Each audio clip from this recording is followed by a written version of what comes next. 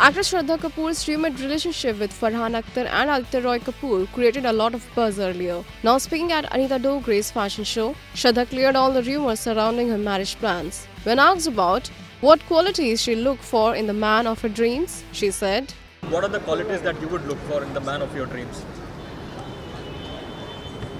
apart, apart from wearing, of course, Anita Dongre's clothes, but now you want अभी आपको list चाहिए कि मैं क्या ऐसे ऐसे क्वालिटीज। है आई थिंक बहुत सिंपल है यार जो हम सब सोचते हैं यू वांट टू सब चाहते हैं कि you get a good you get a good hearted person and more importantly you have to be that for the other person so I think that When wedding happens, almost everybody prefers to be a Sabyasachi bride. Which designer she would choose for her wedding?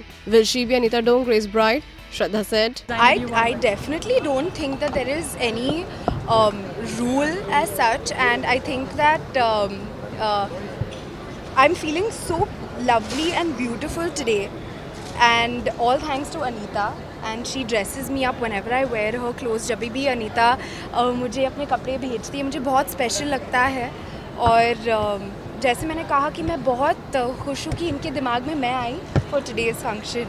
Will you be an Anita Dongre bride then, whenever possible? When I uh, have to think about getting married, I'm sure that I will be thinking of that only. Uh,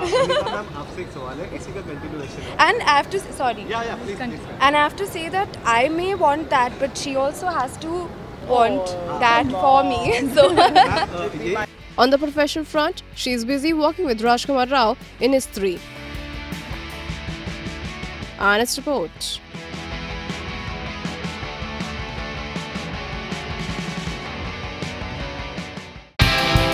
Subscribe to our channel. Just click on the bell icon for all the latest updates.